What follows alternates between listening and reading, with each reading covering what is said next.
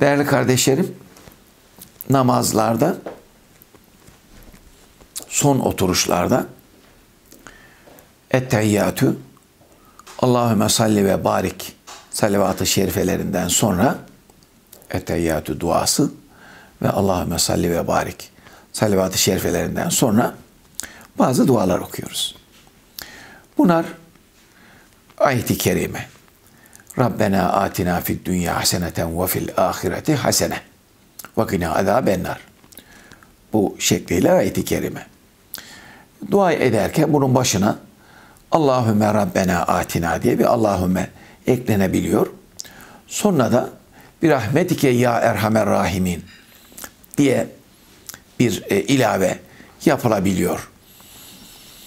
Bu Rabbena atina duası Rabbena atina fid dünya haseneten ve fil ahireti hasene ve kina azaben nar.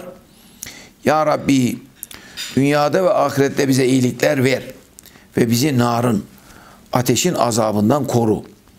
Ey merhametlerin en merhametlisi senin rahmetinle biz bunu istiyoruz. Allahümme dersek ey Allah'ım veya sadece Rabbena dersek Rabbena ya Rabbi veya ya Rabbena ya Rabbi dersek ey benim Rabbim demek. Ya Rabbena dersek ey bizim Rabbimiz demek.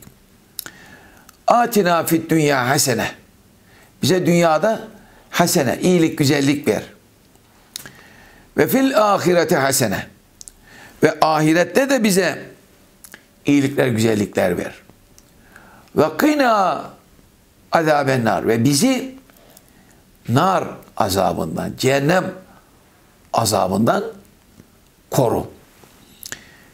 Bir rahmetike ya erhamer rahimin. E, ey merhametlerin en merhametlisi.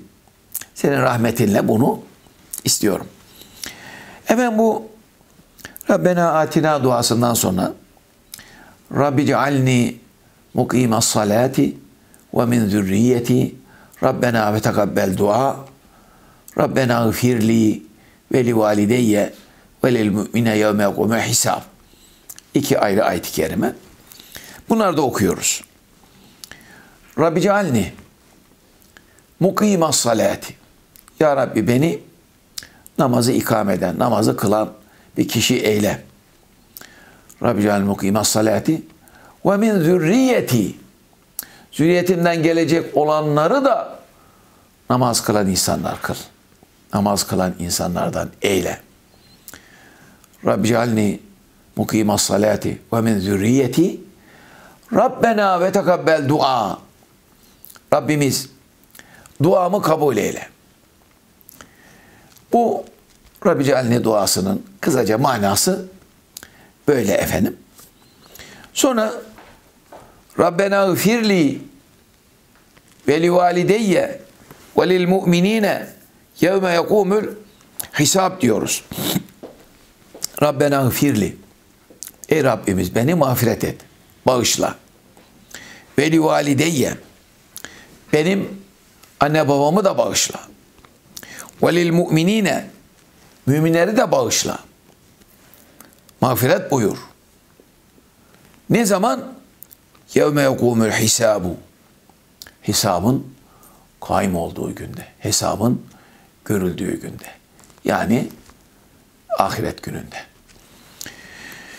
İşte Rabbena atina, Rabbi calni ve Rabbena firli duası dediğimiz dualar bunlardır.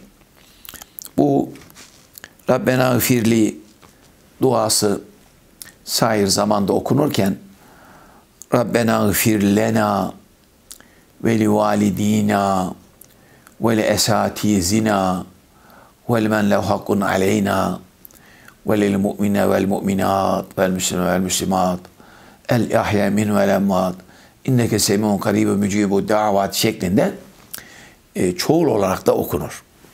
Yani yani Rabbena gfir lena Ey Rabbimiz bizleri mağfiret et, bağışla. Veli validina anne babalarımız da bağışla. Ve esatizina ve üstazlarımızı, üstadlarımızı, hocalarımızı da bağışla. E insanların çeşitli hocaları olur diye mi efendim? Mesela çırakların ustaları vardır, hocaları mesabesinde. İlkokul, ortaokul, lise, üniversitede talebelerin hocaları vardır.